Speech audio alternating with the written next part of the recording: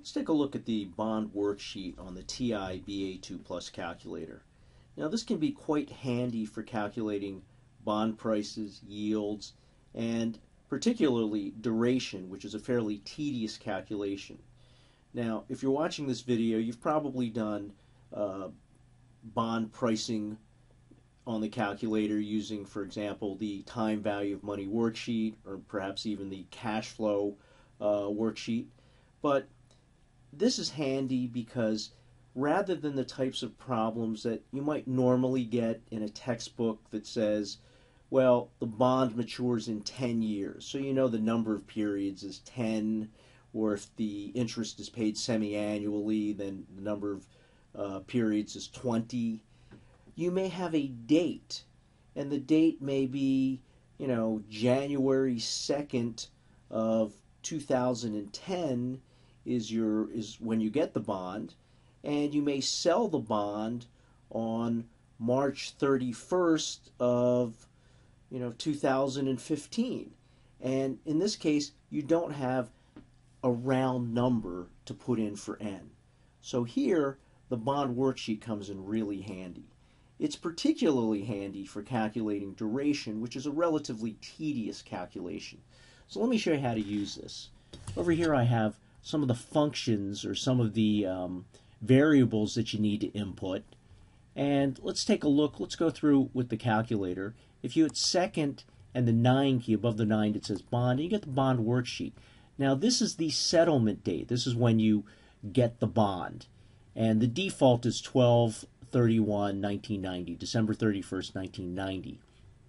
If you want to change it, you're supposed to put in the first two digits and then a dot, okay, um, or a period here, and then the day in two digits, and then the last two digits digits of the year. Okay, so reminiscent of Y2 before Y2K when we used to put in 90 instead of 1990. So let's say I wanted to change this to January 2nd, 2010. I would put in 1 dot. I could put in 01, but it's not going to register the O. And then if I want January 2nd, it's 02, and I want it to be 2010, so 10. So let's see if that works. Okay, we get January 2nd, 2010. So you put in the month first, and then the dot, and then you put in the day, and then the year, the last two digits of the year. And to go to the next piece of information, we scroll down here. The coupon, you'll put in a coupon as a percent, the coupon rate. So you might have 10% or, you know, 8%, 6%. We'll work through an example in a couple of minutes. You have the redemption date, so this is when the bond is redeemed, and you put it in the same way you put in the settlement date. With uh, let's so let's say this is going to mature on March 31st of 2020. So that would be 3.3120. Enter. And so we have the redemption date. And then you put in the redemption value. This is a percentage of the par value. So this is what you'll be receiving as the par value. 100 means you're getting 100%. So if it's a $1,000 maturity bond, you're going to get 1000 If for some reason you're getting less or more, then you'll put in a different percentage. For example, you might have a bond that's callable, in which case maybe you get a premium when you redeem it, and you get a 5% premium, so you would put in 105. Here we have ACT. This is the actual or the actual day count method. So here it's going to use the actual day count, but you can change it to 360 day day count. Okay, we'll stay with the actual day count. All right, the down arrow key tells me I have 2Y here, which means two coupons per year. But if I wanted to change it, and it tells you up here, set, and then it moves. So you hit second enter second set and you can change it to one coupon per year. We'll leave it at two. You put in the yield and then you put in uh, the bonds price. You also, whoops, let me let me scroll down here so we see what else we have. We have price. We have any accrued interest. You may have bonds that have accrued interest, so they're only paying uh, semi-annual interest, but you may be several months in and you've accrued some interest. And then if you go down one more, you get an error message because it couldn't calculate duration because we haven't put in any information yet. All right, so let's let's take a look at an example here. Let's compute the price and duration of an 8% bond with settlement date of January 31st, 2015 and redemption date of January 31st, 2025. And let's assume that the yield is nine and a quarter percent. So I've made this example so it's a 10 year bond, and let's just do it the old way. The old way we would do it, or the way that you're used to doing it, um, when somebody just gives you a simple problem that says it's an 8% bond that matures in 10 years, yield to maturity is 9 and a quarter percent. So let's just put that in. All right, let's assume the, the bond pays semi-annual interest. So we're going to have 20 periods here. So again, clear the time value of money worksheet. So we have 20 for N.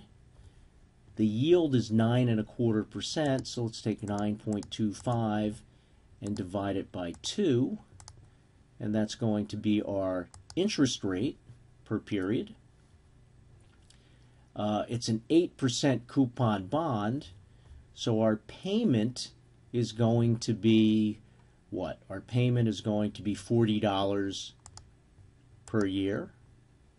And we're going to assume that you get back your full thousand, so 100% redemption value is a face value. We compute the uh, price of the bond as $919.57. Now let's try and do this in the worksheet.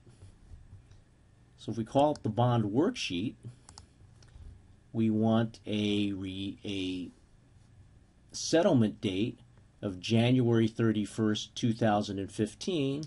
So I'm going to put in 1 dot 3115 and hit enter. So I get January 31st, 2015. We said the coupon is 8%. We're supposed to put it in as an annual coupon. The redemption date we said was January 31st of 2025. So 1.3125, enter. 100% redemption value. Okay, so you're going to get back the full $1,000 when the bond matures. Uh, we'll stay with just the actual day count, two coupons per year. The yield is 9.25.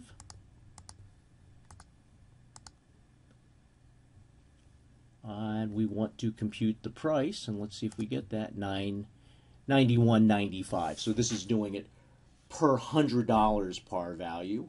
So that's what we had before. Nine, we had nine $919.57. So if we just made it a $100 par value, it would be $91.95. And if we scroll down here, we can also see that the duration is 6.2 years. So this is actually kind of a handy tool to have, this, um, this bond worksheet the tricky part is just sort of figuring out how to put in the redemption date. And it took me a while to sort of figure it out. I had to look through the manual. But it's, you know, I tried one dash, that didn't work very well. But it's one dot 31 and then 25. And then you hit enter. So this is a, a pretty handy tool. If you wanted to calculate duration by hand, it would take you um, quite a bit of time. I have a video tutorial showing you how to calculate duration, and it's a it's a very useful thing to know. It gives us some information about how sensitive a bond's price is to a change in interest rates, but it's also rather tedious to um, to compute. Okay, and here the financial calculator, particularly the bond worksheet, works rather nicely in doing the calculation.